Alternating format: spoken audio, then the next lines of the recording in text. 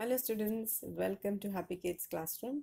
Today we will see the poem Ice Cream Man for grade 5 English. So let's begin. Ice Cream Man.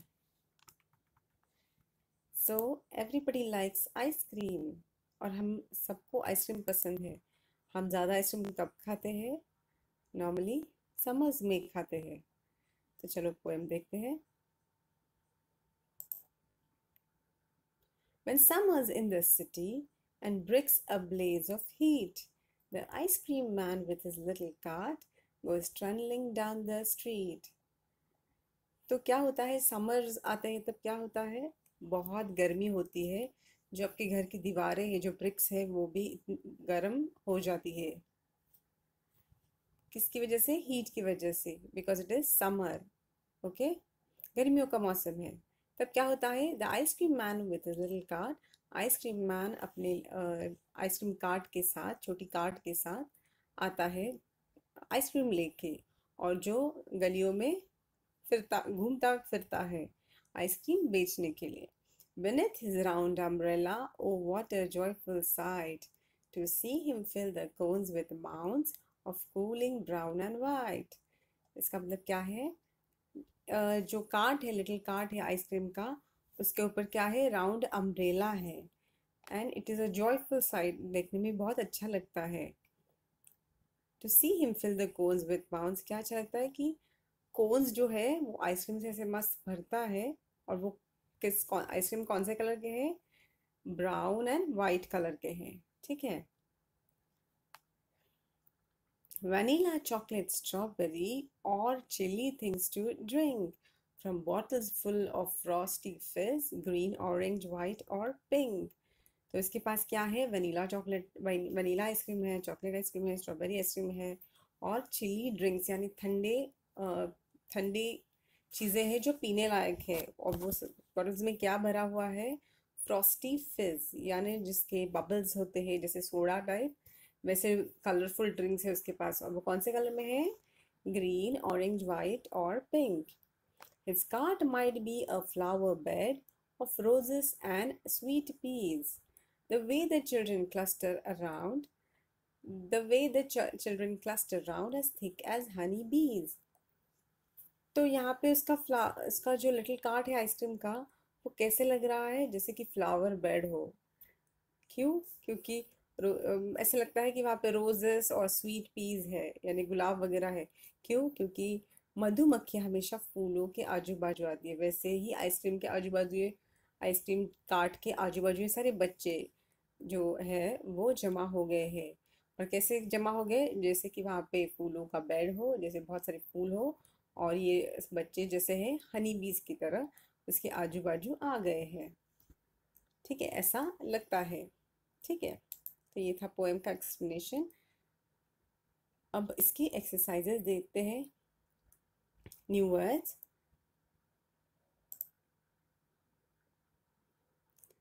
blaze bright flame of और fire यानी bright जो भी flame off fire है, उसे blaze कहते हैं. Trundling moving on small broad wheels जो उसका कार्ड है कार्ट है आइसक्रीम का वो जो व्हील्स पे जा रहा है, उसको टायर नहीं होते हैं। वैसे वैसे जो व्हील्स होते हैं, और वो जिस तरह जाते हैं, उसको कहते हैं ट्रंडलिंग माउंड्स हीप और पाइल यानी ऐसे चीज़ें जमा होना। ठीक है? जैसे कैसा आइसक्रीम बहुत सारा उस कोन पे जमा हो गया है। ठीक है? That is called as heap और pile frosty fizz children chill drink making a hissing bubbling sound जैसे मैंने आपको बताया अलग अलग वो जैसे सोडा वोडा की तरह जैसे बबलिंग साउंड होता है ना, वैसे that that those kind of drinks are frosty fizz cluster cluster यानी जमा होना और ग्रुप ऑफ़ सिमिलर थिंग्स जैसे हनी बीज जमा हो गए या चिल्ड्रन जमा हो गए okay so it is a cluster जमा होना. Reading is fun. in which season is ice cream pal is ice cream popular so ice cream is popular in summer season who feels joyful on seeing the ice cream man children feel joyful on seeing the ice cream man. Name the different flavors of ice cream the ice cream man has in his cart. So which are they? Flavors like uh, okay ऐसे लिखिएगा कि um, the flavors of ice cream the ice cream man has in his cart are vanilla, chocolate, and strawberry. What are the two things that the ice cream man is selling? The ice cream man is selling ice cream and chili drinks. What is the ice cream cart compared to in the poem? The ice cream cart is compared to flower beds in the poem. Let's write. Have an ice cream on a hot having an ice cream on a hot summer day is exciting and enjoyable. Write about some of the exciting and enjoyable things that one can do in winter season. ठीक है गर्मियों में तो ice cream खाना बहुत मज़ा देता है लेकिन ऐसी कुछ चीज़ें हैं जो ठंडी के सीज़न में यानी विंटर सीज़न में करनी करने में मज़ा आता है तो क्या आता है मज़ा करने में यू कैन ऑलवेज राइट कि गर्म चीज़ें खाने में मज़ा आता है लाइक भजी जैसे गर्म चीज़ें भजी या वड़ा पाव खाने में मज़ा आता है और गर्मी बॉन फायर के आजू बाजू बैठ के पौड़ी को सेकने में मज़ा आता है। फिर विंटर सीज़न है तो बर्फ़ जहाँ पड़ती है वहाँ पे आइस स्केटिंग जाने में मज़ा आता है। ऐसी चीज़ें आप यहाँ पे लिख सकते हो। Next is list as many summer activities as you can. तो यहाँ पे आप लिख सकते हो swimming bicycling playing video games inside house playing cards यानी पत्ते uh, फिर ट्रैकिंग ये सारी चीज़ें हम लोग समझ में करते हैं तो वो सारी आप चीज़ें लिख सकते हो। और यहाँ पे आपको ग्रुप बनाना है कि इंडोर और आउटडोर उसमें से कौन सी एक्टिविटी एक्टिविटीज़ होती है। तो इंडोर में आ जाएगा आ जाएगा playing playing cards and video games और आउटडोर में आ जाएगा स्विमिंग एंड ट्रेकिंग या bicycle riding okay see aloud यानी ज़ोर से बोलना है। Circle the words where you get sound one is done for you तो यहाँ पे साउंड जहाँ पे आता है, वो आपको सर्कल करना है ओके तो लेट्स डू इट प्राइस में स आता है तो ये नहीं होगा। Rice no lazy no raise yes chase yes prize yes rise yes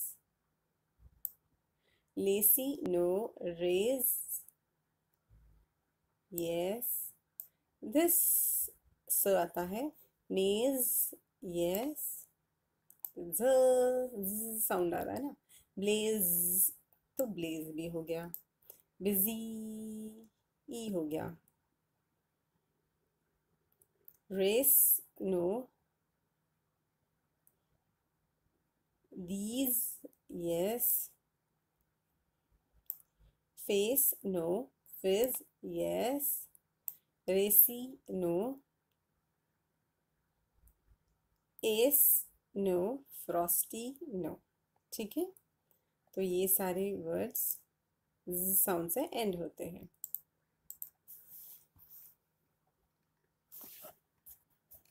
तो next exercise is listen and tell the sound that these words in the poem produce cart cart किसका Listen and tell the sounds that these words in the poem produce. Cart किस uh, कैसा sound produce करता है और drinks कैसे sound. Cart is trundling, trundling sound. Okay, and drinks fizzy sound. Okay. Can you make these sounds? ये सब आप और ये जो next question है ये भी आप अपने आप से कर सकते हो So, word building. Color the boxes that have rhyming sound, rhyming words. ठीक है तो जो rhyming words है वो वाले boxes हमें tick mark करने हैं okay so let's do it city cart no heat street yes blows goes yes do go no hard yard yes oh, okay. Bowl doll no. Cow so no. Label table ये rhyme हो रहा है. Sky माई ये rhyme हो रहा है. Play ओबे ये भी राइम हो रहा है. रेस फेस ये भी राइम हो रहा है. राइट नाइट ये भी राइम हो रहा है. ठीक है? तो ये सारी वर्ड्स थे जो राइम हो रहे थे. नेक्स्ट एक्सरसाइज है. What do the following words describe in the poem? Joyful. Joyful क्या था? Sight. joyful sight. Little cart, round umbrella. Okay. What are the describing words used in the poem for the following? Dash mounts. तो mounts किसके लिए describe किया गया था। Cooling brown and white तो cooling brown and white आएगा यहाँ पे mounts dash flavour, vanilla, chocolate, strawberry flavour. Dash cluster, thick cluster.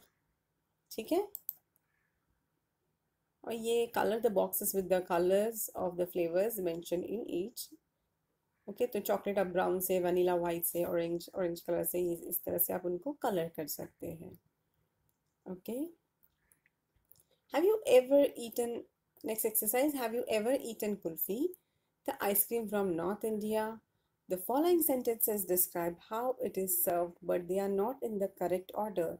Write the correct number before each sentence. तो हमें ये करेक्ट ऑर्डर में नहीं है। पहले क्या करता है? वो डायरेक्ट कुल्फी प्लेट पे थोड़ी डालता है। पहले वो निकालता है। तो उस उस सीक्वेंस में हमें यहाँ पे नंबरिंग करने हैं। ठीक है? तो यहाँ पे सीक्वेंस ठीक से हमें नंबर करना है। Okay so let's do it.